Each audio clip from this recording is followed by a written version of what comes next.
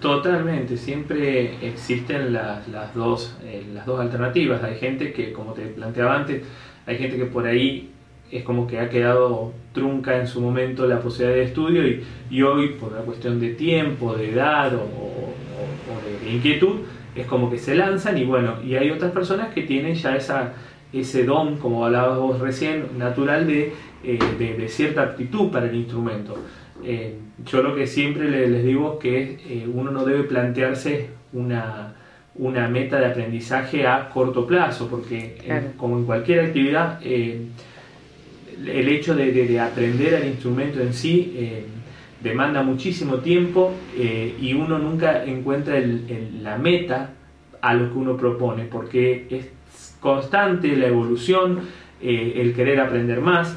Y, por ahí a modo de, broma cuando vienen a aprender guitarra yo digo bueno yo voy a darle las herramientas para que ustedes se inicien no para aprender guitarra porque en particular este instrumento como cualquier otro instrumento eh, nunca logra uno llegar a aprender todo. claro, nunca se puede decir ya aprendí, ya sé tocar, digamos. Jamás, jamás, jamás. Siempre hay algo que te deslumbra, hay algo nuevo, eh, siempre vas generando cosas constantemente, porque eso, de eso, eso es lo bueno que tiene la música.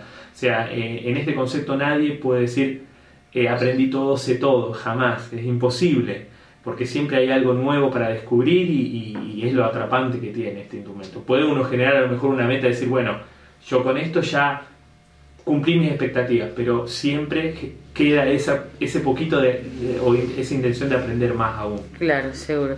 Eh, Dulio, y a esta altura del año la gente que se quiera sumar puede hacerlo, las inscripciones solamente son en principio de año, digamos, ¿cómo puede hacer la gente que por ahí eh, dice, bueno, eh, quiero hacerlo por esto, porque a lo mejor este es algo que me quedó pendiente, me gustaría, este y aprovecha justamente esta nota o el evento que se viene el viernes como para decir, bueno, a lo mejor me animo y, lo hago? Sí, sin duda que lo lo interesante por ahí es el hecho de generar, eh, a comienzo de año, generar el, inicio de clase correspondiente, más que nada porque es donde uno puede desarrollar mejor los horarios y tener una perspectiva mucho más amplia a futuro.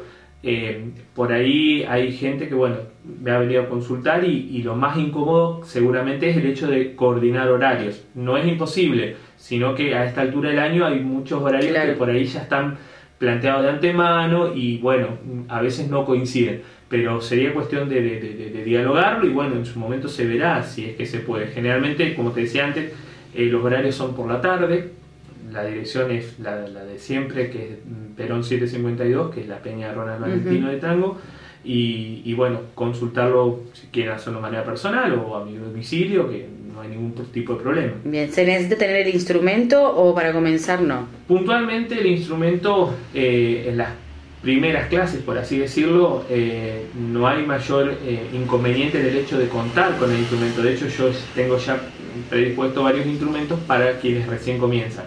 Pero sin duda que el hecho de tener instrumento es algo importantísimo porque genera la posibilidad de la práctica constante, y el trabajo sobre el mismo, que es lo, más interesante de todo, ¿no? lo, elemental.